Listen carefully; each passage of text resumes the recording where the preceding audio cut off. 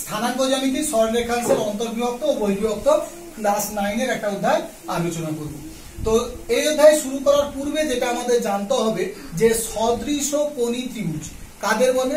না দুটো ত্রিভুজে যদি কোণগুলো সমান হয়, অর্থাৎ একটা ত্রিভুজের তিনটে কোণ, অপর ত্রিভুজের তিনটে কোণ, অনুরূপ তিনটে কোণ, যদি সমান হয়, তাহলে তাদেরকে সদৃশ কোণী ত্রিভুজ বলে। আমি দুটো ত্রিভুজ অঙ্কন করার চেষ্টা করছি। মনে করো এ বি সি একটা ত্রিভুজ। আরেকটা ত্রিভুজ মনে করো বি ই এ দুটো ত্রিভুজের ক্ষেত্রে যদি দেখা যায়, দেখো সি কোণের সঙ্গে এফ কোণ সমান এ কোণের সঙ্গে দেখো ডি কোণ সমান, এবং দেখো এটা তো আমি যদি নাইনটি ডিগ্রি ধরে নিই, বা যে কোনো কোণ, আমি যদি বলি যে এই কোণটার সঙ্গে বি কোণের সঙ্গে ই কোণ সমান, তাহলে এই দুটো সদৃশ কোণী ত্রিভুজের ক্ষেত্রে দেখা যায় যে এসি বাই এফ ডি অর্থাৎ কি? এর এই বাহুটা বা এই বাহুটা এ বি বাই ডিই সমান। এদিকে দেখো নিচের বাহুটা বিসি বাই ই এফ সমান হবে। অর্থাৎ কোণগুলি সমান হলে ইজ সদৃশ কোণই হলে, তাহলে বাহুগুলোর অনুপাত কি হয়?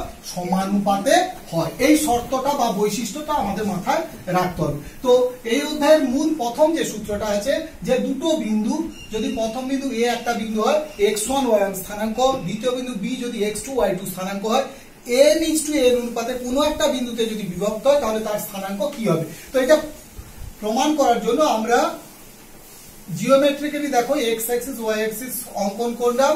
দুটো বিন্দু নিচ্ছি। মনে করো এখানে এ বিন্দু কি? X one comma Y one B একটা বিন্দু মনে করো X two comma Y two এবারে দেখো, এই এ বি যে সরলরেখা, এর মাঝে মনে করো পি যে কোনো একটা বিন্দু, তার স্থানাঙ্ক এক্স কমা ওয়াই আমাকে এটা নির্ণয় করতে হবে। কিন্তু আমি কি জানি? না, মনে করি এম ইস টু এন অনুপাতে বিভক্ত, এটা আমাকে বলে দেওয়া আছে। এইটা করতে গেলে আমরা কি করব একটু দেখো। এ থেকে এক্স অ্যাক্সিসের উপর একটা লম্ব টানলাম। মনে করো এ এন পি থেকে এক্স অ্যাক্সিসের উপর একটা লম্ব টানলাম পি এন বি থেকে এক্স অ্যাক্সিসের উপর একটা লম্ব টানলাম, মনে করো বি আর এবারে এ থেকে এই যে পি এন এর উপর একটা লম্ব অঙ্কন করলাম। মনে করি এস আর পি থেকে দেখো ওখানে বি আর এর উপর একটা নম্বরটা আমরা মনে করি পি এখন দুটো ত্রিভুজ দেখা যাচ্ছে, একটু লক্ষ্য করো। ত্রিভুজ এ এস পি আরেকটা ত্রিভুজ দেখো পি টি বি এই দুটো ত্রিভুজে দেখো এই কোনটার সঙ্গে এই কোনটা সমান আবার দেখো, এটা নাইনটি এটাও নাইনটি অবভিয়াসলি এই কোণটা এই কোণটা কি হবে? সমান হবে, কারণ এই দুটো কি একই সরলরেখার পর দুজনে কি সমান্তরাল যেহেতু লম্ব একই সরলরেখার পর এবং এটা একটা ছেদ। তাহলে দুটো ত্রিভুজ যদি সদৃশ হয়, তাহলে ওদের বাহুগুলোর অনুপাত কি হবে? সমানুপাতিক হবে। তাহলে সেক্ষেত্রে দেখো এ পি বাই পিবি সমান A S by A S দেখো এই বাহুটা বাই কি হবে? তাহলে পিটি সমান। ওদিকে দেখো পিএস বাই ওদিকে দেখো বিটি এটা আমার একটা রিলেশন পেলাম।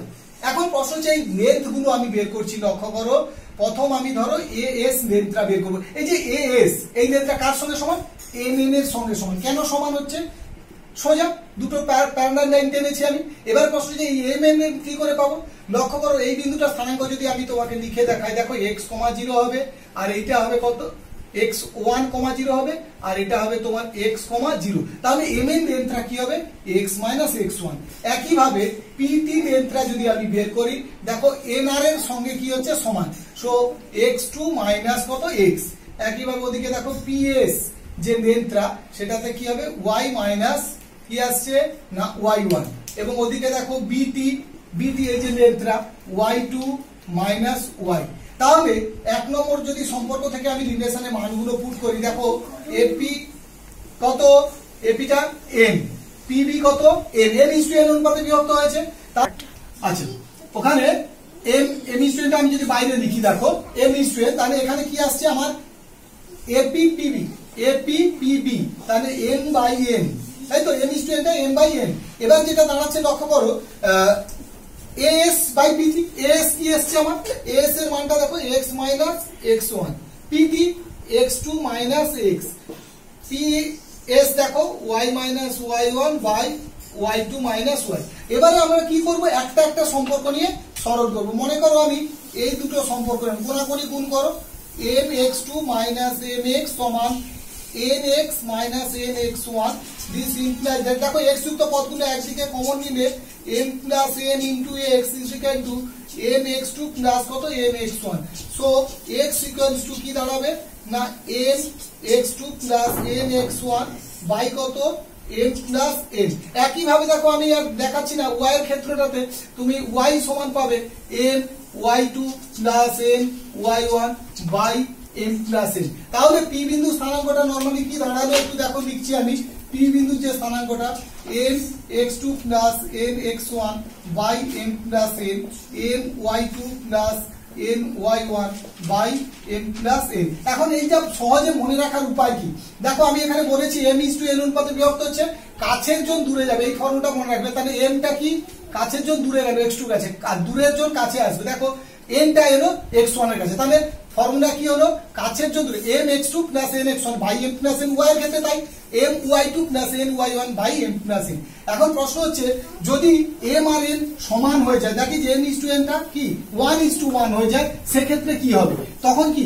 এম সমান এর মানে মধ্যবিন্দু হয়ে যাচ্ছে পিটা তাহলে মধ্যবিন্দুর ক্ষেত্রে ফর্মুলা কি হবে?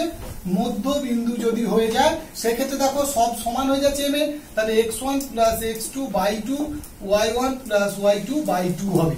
আবার দেখো যদি বহির বিভক্ত হয়, অর্থাৎ বহির বিভক্ত যদি হয়ে যায় হ্যাঁ সেক্ষেত্রে কি হবে?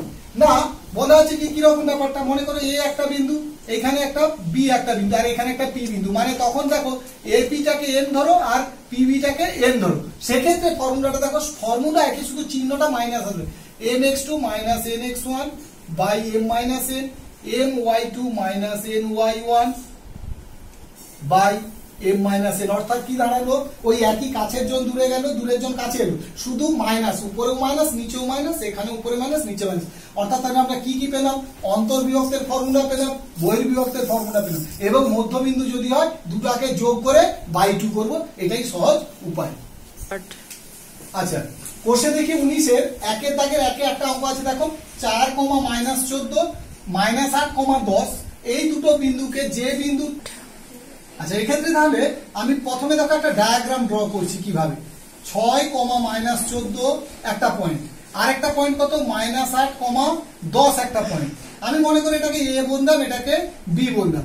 এইটা পি বিন্দু। কি অনুপাতে বিভক্ত হয়েছে? থ্রি টু ফোর অনুপাতে। খুব সহজ এক নাই যে অঙ্কটা হচ্ছে। দেখো, আমি শুধু জাস্ট বিন্দুটা নিচ্ছি যে নির্ণয় বিন্দু স্থানাঙ্ক। কি লিখব? নির্ণয় বিন্দুর স্থানাঙ্ক। তাই তো? তাহলে দেখো কাছের জন দূরে যাবে বলেছে। অন্তর্বিভক্তের সূত্র, তাহলে তিন গুণিত মাইনাস আট হলো যুক্ত। দূরের জন কাছে আসবে, অর্থাৎ চার গুণিত ছয় বাই এম প্লাস এন, অর্থাৎ তিন যুক্ত কত? চার, কমা। এবারে ওয়াই এর ক্ষেত্রে তিন গুণিত, কাছের জন দূরে যাচ্ছে, তিন গুণিত দশ যুক্ত। দূরের জন কাছে আসছে চার গুণিত কত? মাইনাস চোদ্দ। যখন মাইনাসগুলো পাবে না, শুধু ফার্স্ট ব্র্যাকেট ইউজ করবে। নিচে কত? তিন যুক্ত চার। তাহলে ক্যালকুলেশন করো, তোমার কত আসছে দেখো? মাইনাস চব্বিশ প্লাস চব্বিশ, কত হয়ে গেল? জিরো জিরো বাই সামথিং মানে রেজাল্ট কত আসবে? জিরো এদিকে দেখো, দশ তিনে কত? তিরিশ। তিরিশ মাইনাস কত আসছে? চোদ্দ চারে ছাপান্ন। অর্থাৎ কত হলো? মাইনাস ছাব্বিশ বাই কত? সাত। এইটা গেল তোমার অন্তর্বিভক্তের ক্ষেত্রে। আচ্ছা এটা হচ্ছে বহির্বিভক্তের ক্ষেত্রে। তাহলে দেখো, বহির্বিভক্তের ফর্মুলা বলেছি কি? শুধু মাইনাস হয়। তাহলে নির্ণেয় বিন্দু কি হবে? নির্ণেয় বিন্দু সমান। কি পাবো? কাছের জন দূরে দেখো থ্রি টু টু অনুপাত, কাছের জন দূরে তিন গুণিতক চার, কিন্তু ফর্মুলার মাইনাস দুই গুণিতক মাইনাস এক বাই তিন বিযুক্ত কত? দুই। কমা। এবার উভয়ের ক্ষেত্রে তিন গুণিত কত? মাইনাস পাঁচ। বিযুক্ত দুই গুণিত কত? না, দুই।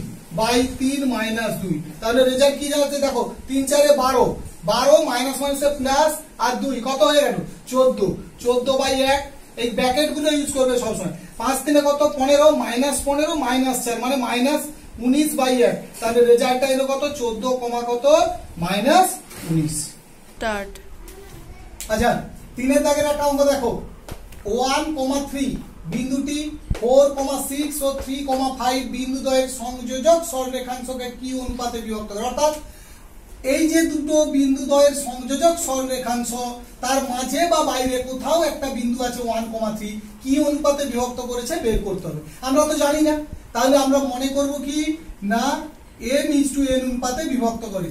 মনে করি কি? না এম ইজ টু এন অনুপাতে বিভক্ত করে তাহলে কি দাঁড়াবে? না, এই দুটো বিন্দু তো। তাহলে ফোর কাছের জন দূরে যাবে, তাই তো?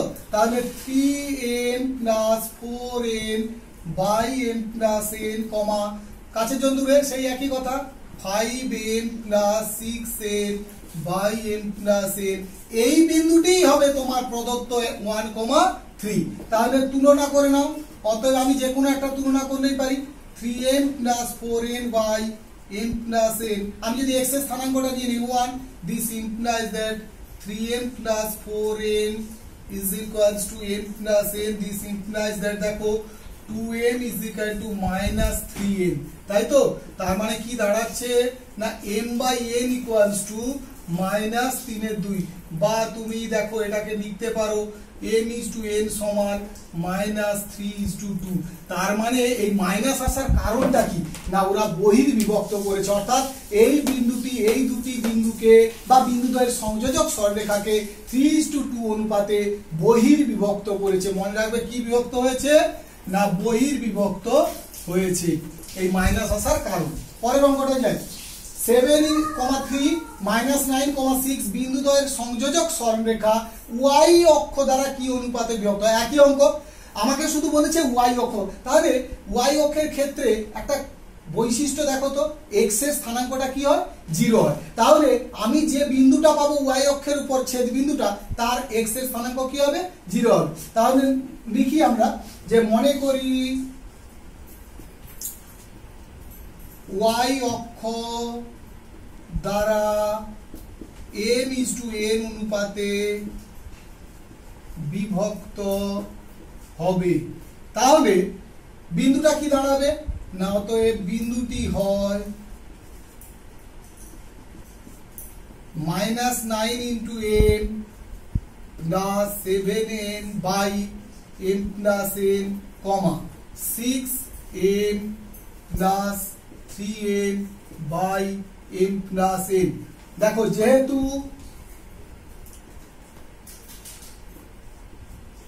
ওয়াই অক্ষের উপর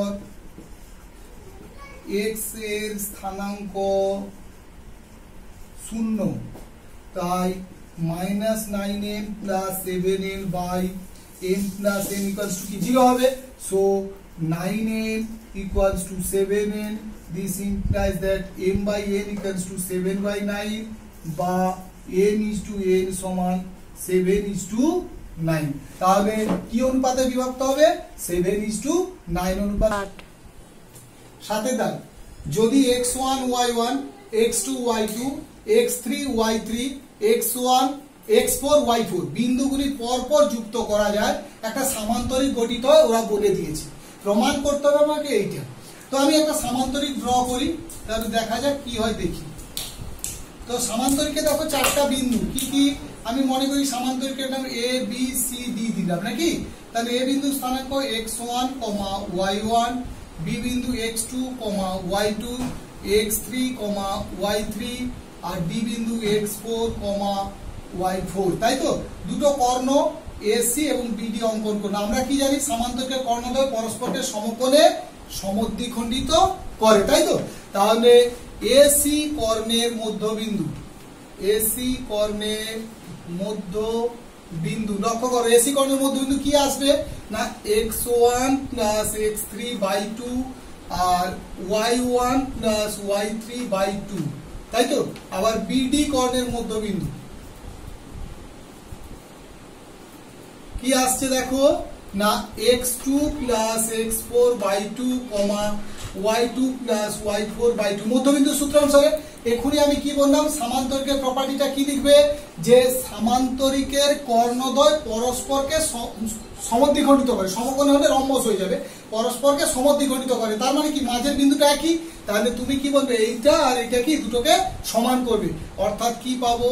X one plus x three by two comma y1 plus y3 by 2 is equals to x2 plus x4 by 2 comma y2 plus y4 by 2 তাহলে দেখো, তুমি এর এক্সের স্থানাঙ্ক এর এক্সের স্থানাঙ্ক সমান করো, দেখো এইটা প্রুফ পাচ্ছ। এর ওয়াই এর স্থানাঙ্ক এর ওয়াই এর স্থানাঙ্ক সমান করো, তাহলে কি? এটা প্রুফ পাচ্ছ। তাহলে দুটো প্রুফ হয়ে যাচ্ছে। দ্বিতীয় প্রশ্ন নয় দাগে চলে আছে একটা ত্রিভুজের তিনটি শীর্ষবিন্দুর স্থানাঙ্ক যথাক্রমে এত এত এত। ত্রিভুজের তিনটে বিন্দু স্থানাঙ্ক দিয়েছে। একটু লক্ষ্য করো, যদি ডায়াগ্রামটা ড্র করি এ বি সি যদি ত্রিভুজটা আমি করি এ বিন্দু স্থানাঙ্ক কত? দুই কমা মাইনাস চার। বি বিন্দু স্থানাঙ্ক কত? ছয় কমা মাইনাস দুই। এটা কত? মাইনাস চার কমা দুই। এবার বলছে মধ্যমা তিনটির দৈর্ঘ্য নির্ণয় করতে বলেছে, তাই তো? তাহলে আমি এডি মধ্যমাটা মনে করি ডি বিন্দু স্থানাঙ্ক চাই বি মধ্যমা। তাহলে ই বিন্দু স্থানাঙ্ক চাই এবং সি এফ যদি মধ্যমা নামকরণ করি, তাহলে ডি বিন্দু স্থানাঙ্ক কি করে পাবো? না বিসি মধ্যবিন্দু তাই তো? তাহলে ডি বিন্দুর স্থানাঙ্ক ডি বিন্দুর স্থানাঙ্ক কত হবে বলতো? দুটো যোগ করে বাই টু, তার মানে কত? ছয় মাইনাস চার বাই দুই মাইনাস দুই প্লাস দুই বাই দুই দ্যাট ইজ কত আসছে লক্ষ্য করো? এক কমা জিরো, তাই তো? একইভাবে দেখো, ই বিন্দু স্থানাঙ্ক কত পাবে তুমি?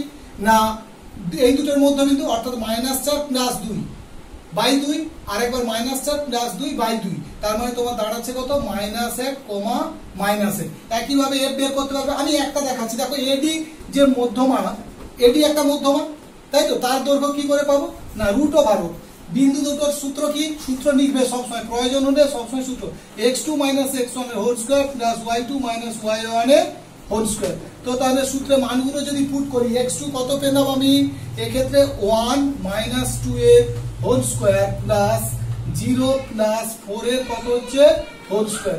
This implies that one square plus কত? Four square that is root seventy একটা মান পেলে।